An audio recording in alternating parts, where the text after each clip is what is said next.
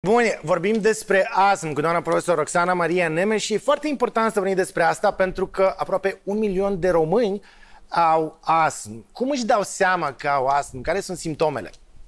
Nu există simptome specifice ale astmului, ele trebuie integrate într-un uh, corolar mare. Nu înseamnă că tot ceea ce șuieră este astm. Da. Alături de acest wheezing putem asocia tuse, tuse trenantă, putem avea constricție toracică, putem avea disnee, acea lipsă de aer. Important este ca toate aceste elemente să fie într-un diagnostic uh, acurat încât să ne dea accesul către terapie.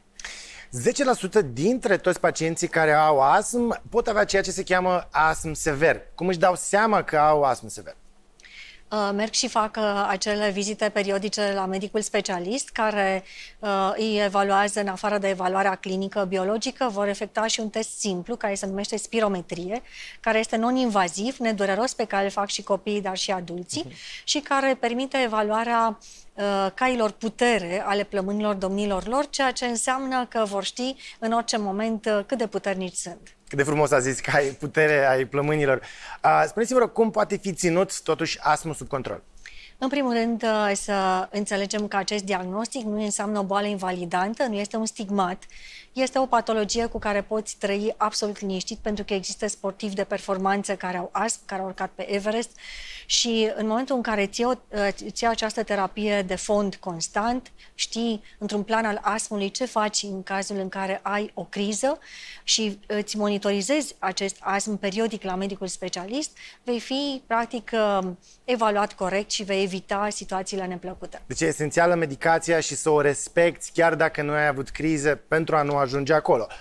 Totuși, ținând cont de această evoluție a medicinei, există oare limitări în activitățile de zi cu zi ale pacienților care au astm? Există limitări, mai ales în situația în care pacientul uh, experimentează o exacerbare. Exacerbarea poate să fie invalidantă, te poate aduce pe pat de spital, uh, în condițiile în care îți iei un tratament corect și uh, știi ce să faci ca să ieși din criză și în situații delicate accesezi către o exacerbare, toate, toate au o soluție și practic nu există situația să-ți pună viața în pericol decât dacă abandonezi tratamentul. Ce recomandări am putea să le dăm la final pacienților care au astm? Să țină aproape de uh, medicul lor, să înțeleagă cât mai profund uh, această patologie, să pună întrebări, să înțeleagă răspunsurile și să își trăiască viața frumos ca un individ care practic nu ar avea această patologie. Ce frumos a spus! Mulțumim mult, doamna profesor, pentru aceste informații. Și eu mulțumesc foarte frumos!